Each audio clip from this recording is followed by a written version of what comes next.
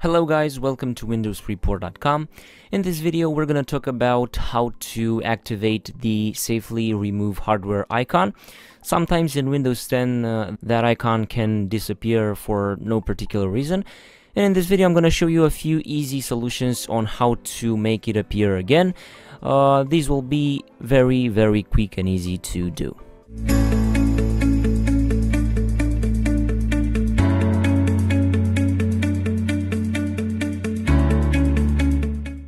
The first thing that you should try is to press the Windows key plus R in the same time and a window will pop up. In this window, you're gonna have to enter a command. The command that I'm gonna enter, you'll find in the article down below in the description, so check that link out.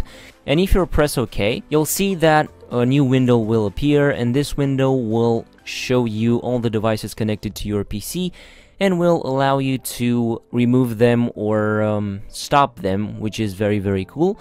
This is an alternative for the icon that you would have normally in your taskbar, but if you don't like the solution, stay here because next I'm gonna show you a few easy steps on how to make that icon appear again. For some reason that icon can disappear if your uh, device is not installed properly so I'm gonna show you next how to reinstall the driver for a particular device.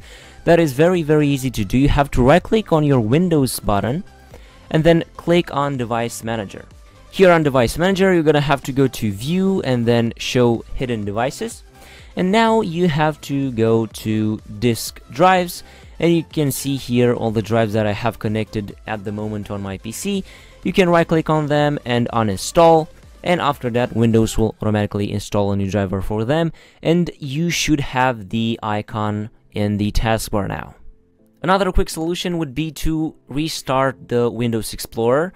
Windows Explorer is very easy to restart and that could help actually because all the taskbar icons will be restarted too. For that you're gonna have to right click on the taskbar and then click on Task Manager and here in this list you're gonna have to scroll down and then go to Windows Explorer.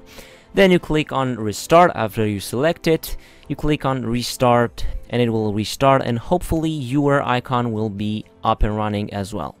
For a last device, I would advise you to use third-party tools. If your icon still won't appear, you could use software like uh, Safely Remove Hardware Ejector or something like that. There are many apps on the internet today, so you can try to search them up. Also, if you want to see more solutions uh, and uh, some quick tips on how to solve the problem, you could also try to check out the article down below because there you'll have more information about it. If you like the video, don't forget to leave it a like and comment below if this video was helpful. Also, don't forget to subscribe to our channel for more videos. Until next time, I was Emmanuel. Stay safe.